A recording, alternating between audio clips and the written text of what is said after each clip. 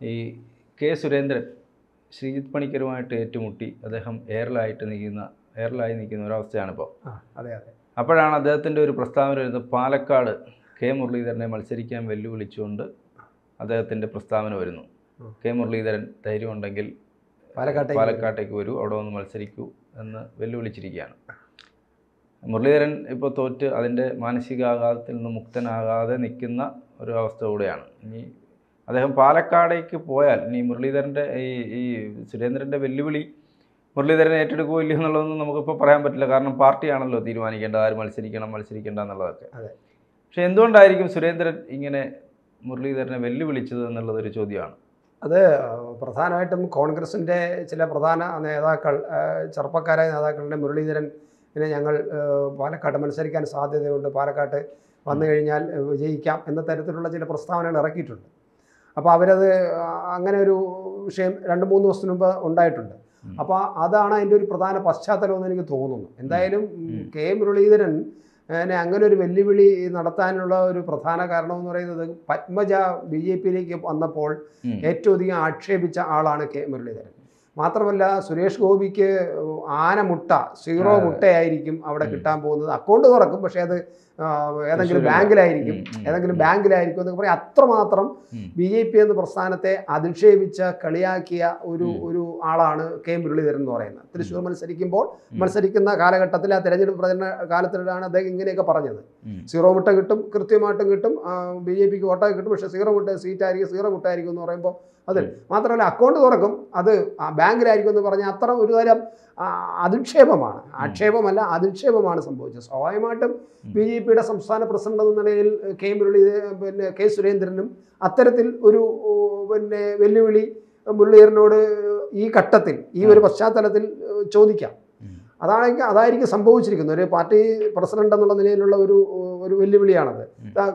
അത് മാത്രമല്ല കോൺഗ്രസിന്റെ പ്രധാന നേതാക്കൾ പലരും കെ മുരളീധരൻ മത്സരിക്കാൻ സാധ്യതയുണ്ട് വരട്ടെ എന്ന് അവർ സ്വീകരിക്കുകയും ചെയ്തിട്ടുണ്ട്. കേരളം മുരളീധരനെ ഞങ്ങൾ പാലക്കാട് മത്സരിപ്പിക്കും. കാരണം അവർ പറയുന്നത് നമ്മുടെ ഷാനിമോൾ ഉസ്മാൻ ആലപ്പുഴയിലെ ലോക്സഭാ തെരഞ്ഞെടുപ്പിൽ തോറ്റതിന് ശേഷം.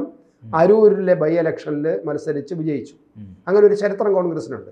അപ്പോൾ അത് എല്ലാം കൂടെ വെച്ചിട്ടാണ് കെ മുരളീധരൻ ആലപ്പുഴ പോലെ അല്ല പാലക്കാട്. കാരണം പാലക്കാട്. ഷാഫിയുടെ കരുത്തിൽ മാത്രം അല്ലെങ്കിൽ വ്യക്തിപ്രഭാവത്തിൽ മാത്രം ആണ് കോൺഗ്രസ് ഇപ്പോൾ ജയിച്ചുകൊണ്ടിരിക്കുന്നത് ഷാഫി നേടിയെടുക്കുന്ന കുറേ വോട്ടുണ്ട് പാർട്ടി വോട്ടിനപ്പുറം. അപ്പോൾ അവിടെ മുരളി വരുമ്പോൾ എന്താകും എന്നുള്ളത് നമ്മൾ ചിന്തിക്കേണ്ട ഒരു കാര്യമാണ്. ചിന്തിക്കേണ്ട കാര്യം കാര്യം. പക്ഷേ ഷാബിയെ സംബന്ധിച്ചിടത്തോളം ഷാബിക്ക് നമ്മളിപ്പോൾ രണ്ടായിരത്തി പതിനാറിലെ കണക്കെടുത്ത് നോക്കുമ്പോൾ രണ്ടായിരത്തി പതിനാറിൽ മത്സരിച്ചപ്പോഴും രണ്ടായിരത്തി ഇരുപത്തിനിൽ മത്സരിച്ചപ്പോഴും ഷാഫിയുടെ വോട്ടുകളുടെ ശതമാനം കുറഞ്ഞിട്ടുണ്ട്. ഏകദേശം ഷാഫിയുടെ കണക്ക് നോക്കുമ്പോൾ രണ്ടായിരത്തി പതിനാറിൽ ഷാഫിക്ക് ഉണ്ടായിരുന്നത് പിന്നെ നാൽപ്പത്തി ഒന്ന് ദശാംശം ഏഴ് അഞ്ചാണ്. അത് രണ്ടായിരത്തി ഇരുപത്തൊന്നായപ്പോഴേക്കും അത് വെറും വളരെ കുറഞ്ഞിട്ടുണ്ട്. വളരെ കുറഞ്ഞ് മുപ്പത്തെട്ട് ശതമാനം പക്ഷേ രണ്ടായിരത്തി ഇരുപത്തി ഒന്നിൽ എന്ന് പറഞ്ഞാൽ ശക്തമായ മത്സരമായിരുന്നു. അതെ.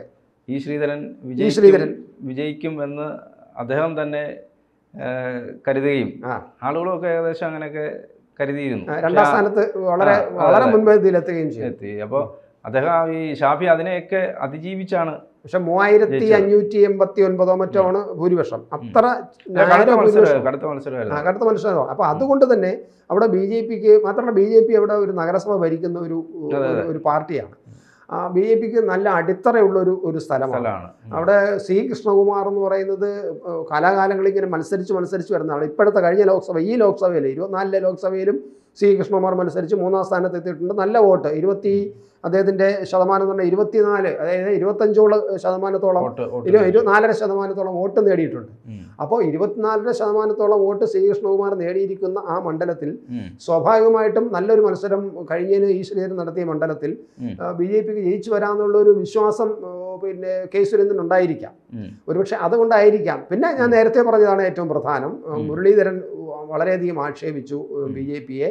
പത്മജ വന്നപ്പോൾ ആക്ഷേപിച്ചു പിന്നെ സുരേഷ് ഗോപിയെ ആക്ഷേപിച്ചു. കെ സുരേന്ദ്രൻ തന്നെ ഒരുപാട് തരത്തിൽ ആക്ഷേപിച്ചിട്ടുണ്ട്. പല തരത്തിലും പല അവസരങ്ങളിലും കെ സുരേന്ദ്രൻ ഒരുപാട് ആക്ഷേപിച്ചിട്ടുണ്ട്. അതിന്റെ ഒരു മറുപടിയായിട്ടായിരിക്കും കെ സുന്ദരൻ പറയുന്നത്. പക്ഷേ കെ സുന്ദരൻ പറയുമ്പോൾ നമ്മൾ കേരള രാഷ്ട്രീയത്തിലൊരു പ്രത്യേകത ഉണ്ട് അദ്ദേഹം പറയുന്നതിൽ ഒരു കഴമ്പില്ല എന്നുള്ളൊരു തോന്നലുണ്ട്. അത് പ്രധാനമായിട്ടും പണ്ട് മുപ്പത്തഞ്ച് സീറ്റ് കിട്ടിയാൽ മതി ഞങ്ങൾ കേരളം ഭരിക്കും എന്നൊക്കെ പറഞ്ഞ ഒരു ഒരു സ്ഥാനമുണ്ട്. അതൊക്കെ വളരെ മോശമായ ഒരു പ്രയോഗം. അന്ന് തന്നെ ഞാൻ കേട്ടപ്പം കേട്ടപ്പോൾ വല്ലാതെ അയ്യോ എന്നങ്ങ് ഒരുതരം ഊറിച്ചിരിച്ചു പോയി വാർത്ത കണ്ടപ്പോൾ. മുപ്പത്തഞ്ച് കിട്ടിയാൽ ഞങ്ങൾ ജയിക്കും. വളരെ ആവേശത്തിൽ വലിയ ചിരിച്ചുകൊണ്ടൊക്കെ വലിയ തലയൊക്കെ ആട്ടി ഇങ്ങനെ ആശയം പറയുമ്പോൾ എനിക്ക് ഒരുമാതിരി ഒരുതരം വല്ലാത്തൊരു ചിരിയാണ് തോന്നിയത്. ഉള്ളിലൊരു പുച്ഛം തോന്നുന്നത് ചിരിയാണ് തോന്നുന്നത്. എന്തിനും ഇങ്ങനെ ഒരു സംസ്ഥാന പ്രസിഡന്റ് ഇങ്ങനെയൊക്കെ പറഞ്ഞു എന്നുള്ളത്. അപ്പോൾ അപ്പം അങ്ങനെ പറയുന്ന ആളാണ്.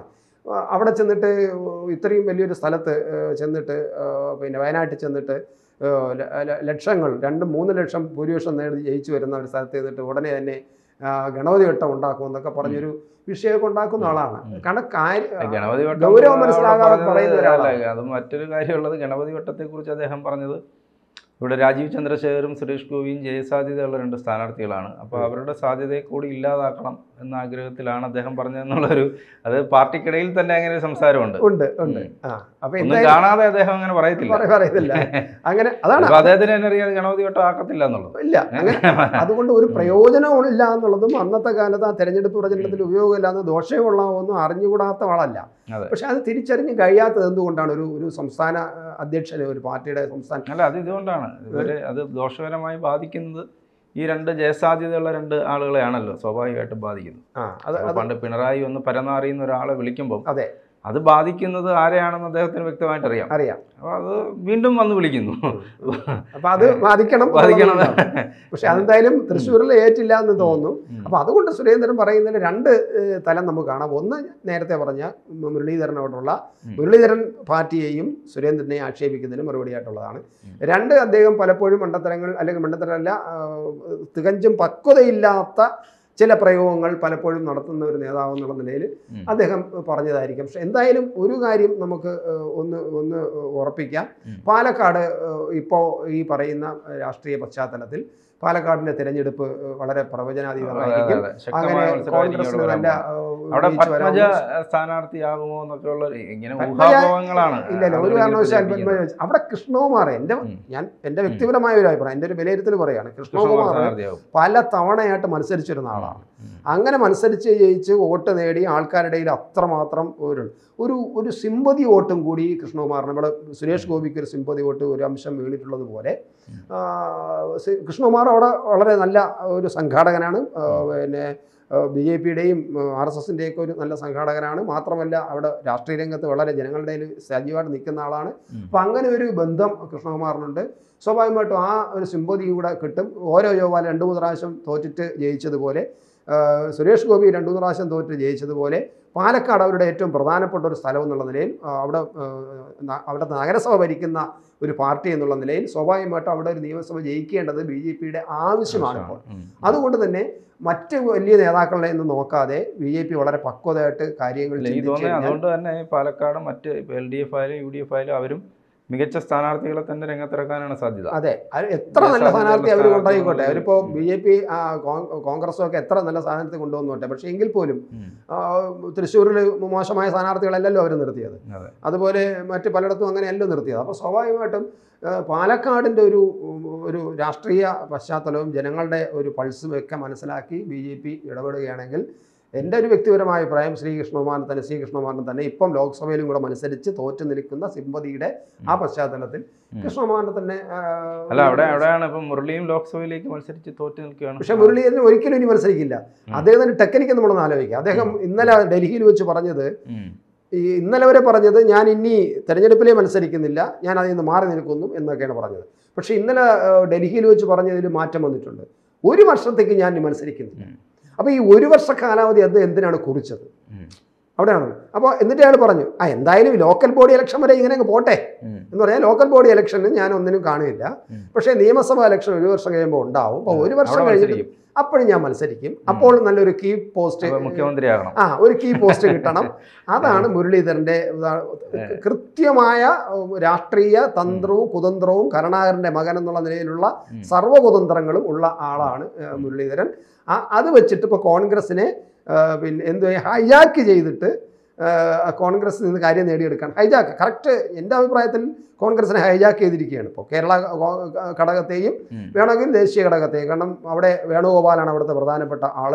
അവിടുത്തെ A I C C high command എന്ന് പറയുന്ന ഒരുപക്ഷെ വേണുഗോപാലാണ് ഇനിയിപ്പോൾ അപ്പോൾ അതുകൊണ്ട് തന്നെ ഒരു മന വേണുഗോപാൽ ഹൈക്കമാൻഡായി നിൽക്കുമ്പോൾ അങ്ങനെ ഒരു ഹൈജാക്കിംഗ് നടത്തിയിട്ട് കാര്യം നേടിയെടുക്കാനുള്ള ഒരു തന്ത്രമാണ് മുരളീധരന്റെ. അത് കൃത്യമായ സർവ ചടുലമായ തന്ത്രങ്ങളെല്ലാം അറിയാവുന്ന രാഷ്ട്രീയ നേതാവ് കരുണാകരന്റെ എല്ലാ കാര്യങ്ങളും ഊറിയെടുത്ത് വച്ചിട്ട് വച്ചിട്ടുള്ള ആളെന്നുള്ള നിലയിലാണ് ഇദ്ദേഹം കാണി അതുകൊണ്ടാണ് ആദ്യം പറഞ്ഞ് ഞാൻ മത്സരിക്കുന്നില്ല എന്ന് പറയുകയും ഞാൻ ആരോടും മിണ്ടുന്നില്ല എന്ന് പറയുകയും എനിക്ക് ആരോടും പരാതിയില്ല എന്ന് പറയുകയും എനിക്ക് ആരോടും സങ്കടമില്ല എന്ന് പറയുകയും എന്നിട്ട് ഒരു വർഷമാകട്ടെ ഒരു വർഷം കഴിഞ്ഞിട്ട് വരെ ആലോചിക്കാം. ഇന്നലെ ഡൽഹിയിൽ മാധ്യമങ്ങളുടെ കാണുന്നു പറയുമ്പോൾ മുരളീധരൻ അതാണ്.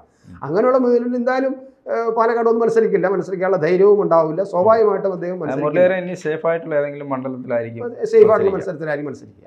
കൂടുതൽ വാർത്തകളും വിശേഷങ്ങളും നിങ്ങളിലേക്ക് എത്താൻ A B C Malayalam subscribe ചെയ്യുക. ബെൽബട്ടനും അമർത്തുക. കൂടുതൽ വാർത്തകളും വിശേഷങ്ങളും നിങ്ങളിലേക്ക് എത്താൻ A B C Malayalam subscribe ചെയ്യുക. ബെൽബട്ടനും അമർത്തുക